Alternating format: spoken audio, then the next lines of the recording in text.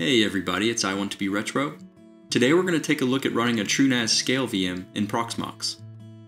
To get started, navigate to truenas.com and download the latest TrueNAS Scale installation ISO. Then navigate to the Proxmox web UI and get logged in.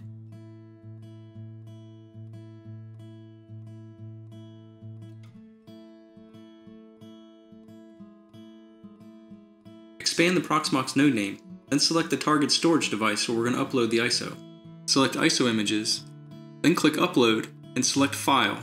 Browse to and select the TrueNAS Scale ISO we just downloaded, then click the Upload button.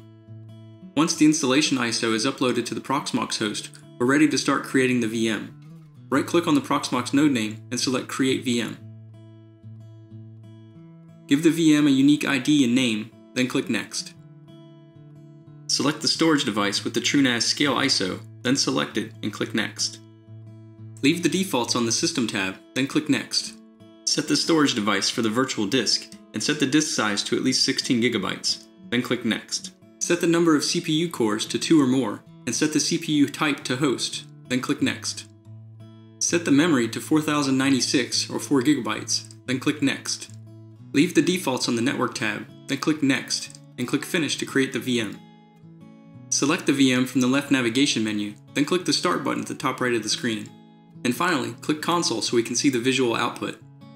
Press Enter to select Start TrueNAS Scale installation. At the Setup menu, select Install. If prompted about not meeting the minimum RAM requirement, select Yes and press Enter. Press spacebar to select the QEMU disk, then press Enter.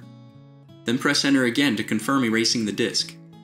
Press Enter to create an admin user account, then enter and confirm a password.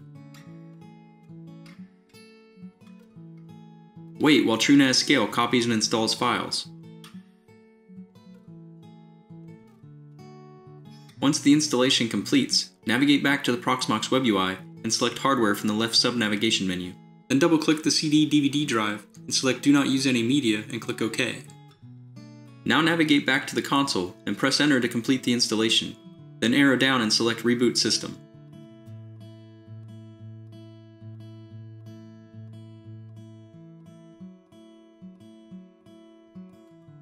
Once the reboot completes, note the web user interface URL in the console output. Open a web browser and navigate to the web user interface URL.